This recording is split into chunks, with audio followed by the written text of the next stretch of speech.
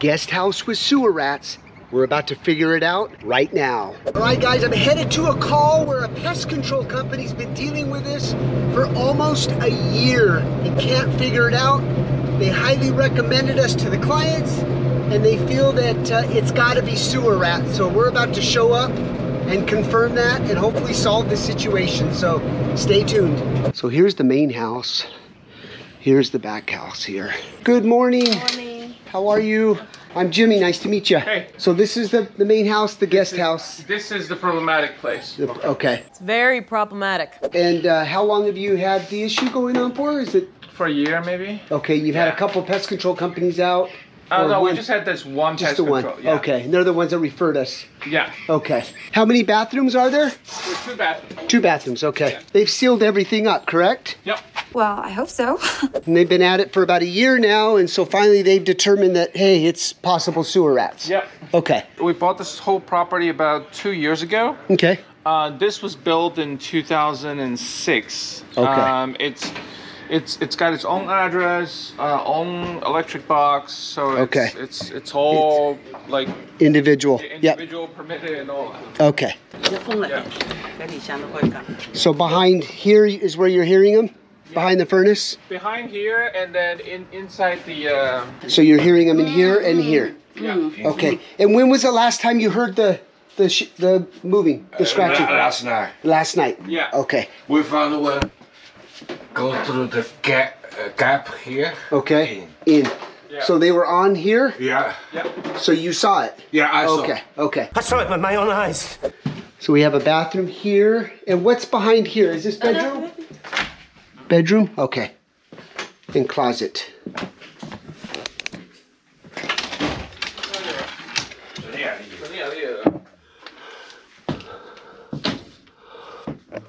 Okay. There's the access right here. Yeah. Okay, perfect. Okay, we're gonna get set up inside. Hey, uh, Enrique, Victor, just so you guys know, they're hearing a lot of activity in here and in here. They've opened this up. The other day, the guy said he saw a rat come through here and crawl right up into here. Okay. Okay, so this is gonna be our hot spot, and there's also inside that room there is a closet with an attic space. Looks like there's a hole over here too, they covered up, Yeah. Okay. cardboard. They set a glue trap up here too. So I see some wire mesh up there that uh,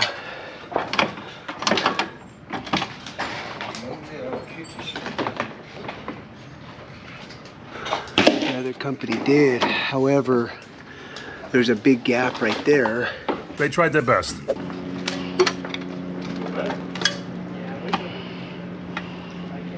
There's a vent right there. I'm gonna go do a sniff check there and see if there's any type of signs there.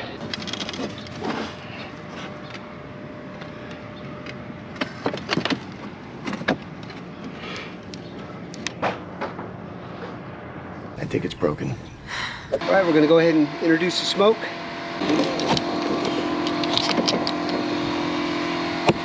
So here's the closet.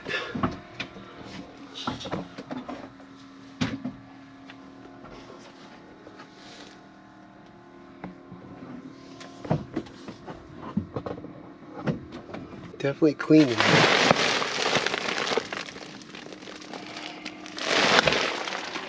It's too clean, sir. So we're doing a light test outside. So let's head out there and see what that is. Where was that, Enrique? These are Oh, okay. Hey Jim, we're getting smoke. We are. Oh. Mark's saying we've got smoke coming out of here. There's a bathroom.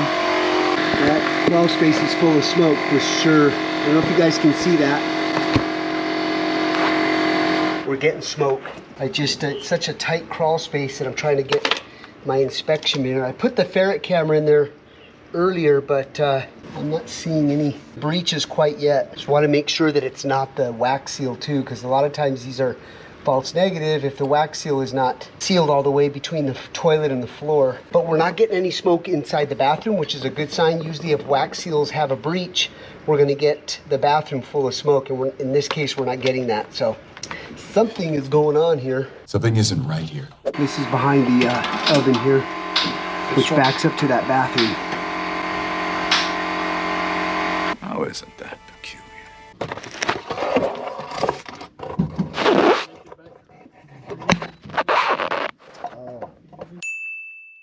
If that isn't suspicious, I don't know what the heck is. So as you can see there, definitely a breach there. The other pest control was right. Looks like it's sewer rats coming in there. It's all localized right here to this bathroom. They're hearing the noise in that same area, so it's all coming together. We're just now trying to get the approval if they want to go with us to open up the floor and actually get down to there.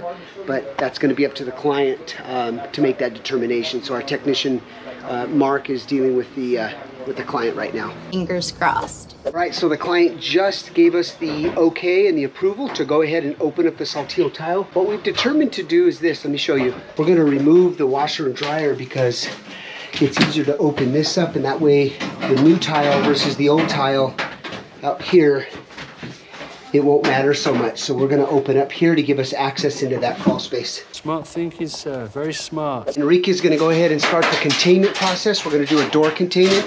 Raul is disconnecting all of the plumbing. Y eso que hago en Yeah, right here too. Look at see the uh, Yeah, you can see some droppings. some droppings back here. Man, that's gross. All right, so the washer and dryer is disconnected. We're to relocate this bad baby. All right, so we're getting the containment up. So you can see the washer and dryer is completely out. Open up this corner right here to gain access in the crawl space. Hey, this is a shout out to Home Shield Pest Control out of Los Angeles that referred us. So just want to do a shout out to you guys and uh, express my gratitude. Appreciate that. So Victor's building a containment over here. So that way we can be fully prepped to demo. What's great about this is that once we build this containment, cover this, we've got the outside here. So all the dust and debris will go to the outside. Convenient. It's going to be super interesting once we get into the crawl space and see what we have down there. There could be several breaches. I was asking, well, what if we do this repair and the rats come back? And we get that question a lot. It just depends on once we get down there and we see the aggressiveness of if it's just one breach or if they're chewing, then they may have to go with the option of a sewer blocker. So, but we won't know that until we get down there. So we'll be getting down there here in about uh, 45 minutes or so.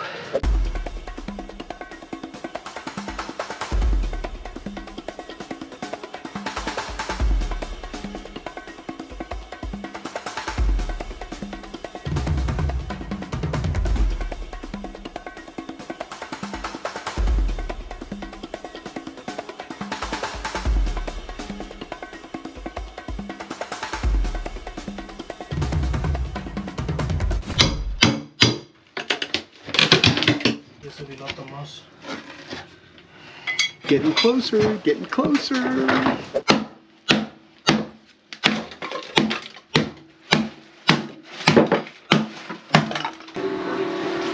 Get close.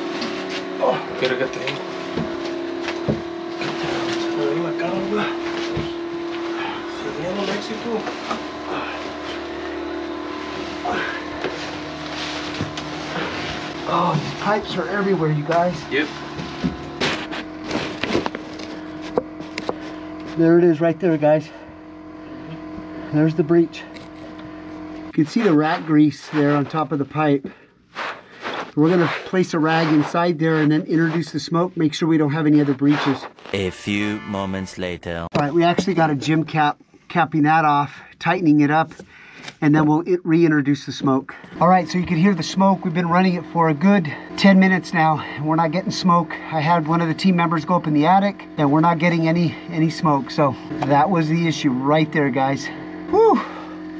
Woo, woo, woo! So what we're gonna do here is I'm gonna cut that two inch straight because that gym cap didn't work, you guys. That's why I had to shove the rags in there. But I'm gonna cut that two inch, put a two inch female adapter with a male galvanized plug so they don't chew right through it. So that'll fix that there. But uh, yeah, we're not getting any smoke. This crawl space is clear.